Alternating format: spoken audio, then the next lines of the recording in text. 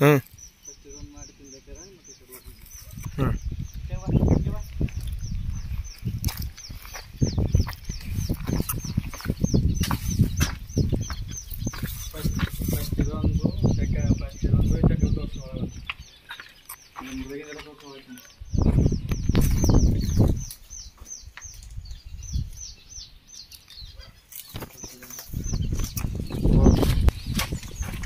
ഇത് പിന്നെ അത്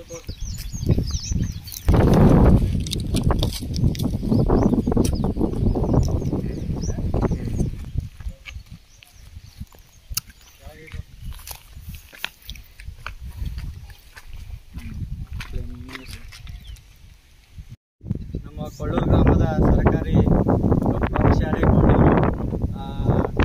ತುಂಬ ವ್ಯವಹಾರ ನಡೀತಾ ಇದೆ. ಫಸ್ಟ್ ಒಂದು ಟಾಯ್ಲೆಟ್ ಬಾತ್ರೂಮ್ ಕಟ್ಟಿದ್ದಾರೆ. ಸೆಕೆಂಡ್ ಅಲ್ಲಿ ಒಂದು ಕಟ್ಟಿದ್ದಾರೆ, ಅದು ವೇಸ್ಟ್ ಆಯಿತು. ಈ ಮೂರನೇ ಇದು ಕಟ್ಟಿದ್ದಾರೆ, ಈಗ ಇನ್ನೂ ಬಿಲ್ಲು ಆಗಿಲ್ಲ ಇದು. ಥರ್ಡ್ ಈಗ ಅದು ಇಲ್ಲದೆ ಮತ್ತೊಂದು ಇಲ್ಲಿ ಟಾಯ್ಲೆಟ್ ಇಲ್ಲಿ ಮತ್ತೊಂದು ಇವಾಗ ಪಾಯ ಹೊಡಿತಾ ಇದ್ದಾರೆ ನಾಲ್ಕನೇ ಬಾತ್ರೂಮ್ ಇಲ್ಲಿ ಕುಡಿಯೋಕೆ ನೀರೇ ಇಲ್ಲ ಶೌಚಾಲಯ ಬಳಸೋಕೆ ನೀರು ಬೇಕು ಫಸ್ಟ್ ನೀರಿಲ್ಲದೆ ನಾಲ್ಕು ನಾಲ್ಕು ಶೌಚಾಲಯ ಕಟ್ತಿದ್ದಾರೆ. ಹಾಗೂ ಕೊಳ್ಳೂರು ಗ್ರಾಮದಲ್ಲಿ ತುಂಬಾ ಅಧಿಕಾರಿಗಳು ನಿರ್ಲಕ್ಷ್ಯ ನಿರ್ಲಕ್ಷ್ಯ ತೋರಿಸ್ತಾ ಇದ್ದಾರೆ. ಆದ ಕಾರಣ ನಮ್ದು ಒತ್ತಾಯ ಏನಂದ್ರೆ ಬಾತ್ರೂಮ್ ಏನು ಬೇಡ, ಕುಡಿಯೋಕೆ ಒಂದೆರಡು ಬೋರ್ವೆಲ್ ಹೊಡೆಸಿ ಅಷ್ಟೇನೇ ಒತ್ತಾಯ.